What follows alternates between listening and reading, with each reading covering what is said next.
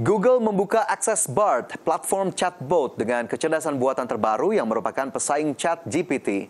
Mulai selasa lalu, pengguna dapat bergabung dalam daftar tunggu untuk bisa mengakses BART. Setelah diperkenalkan bulan lalu, Google mulai membuka akses uji coba untuk chatbot berbasis kecerdasan buatan besutannya yakni BART.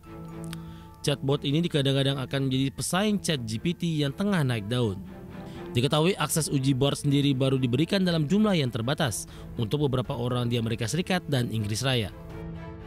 Meski baru tersedia untuk Amerika Serikat dan Inggris Raya, Google menyatakan akan memperluas uji coba ini ke lebih banyak negara dan bahasa. Namun informasi mengenai kapan layanan ini hadir di negara lain sejauh ini belum diungkap. Diketahui BART pertama kali perkenalkan Google pada Februari 2023. Menurut CEO Alphabet Sundar Pichai, Google Bard menggunakan language model yang dikembangkan perusahaan sendiri yakni Lambda.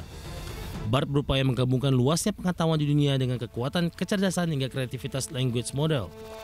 Kemampuan itu mengacu pada informasi dari web untuk memberikan respon baru dan berkualitas tinggi.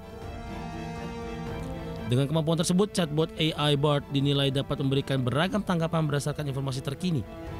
Selain mengumumkan Bard yang disebut akan menjadi pesaing chat GPT, Google juga memastikan teknologi AI terbaru mereka seperti Lambda, Palm, Imagine, hingga Music LM akan diintegrasikan oleh Google Search.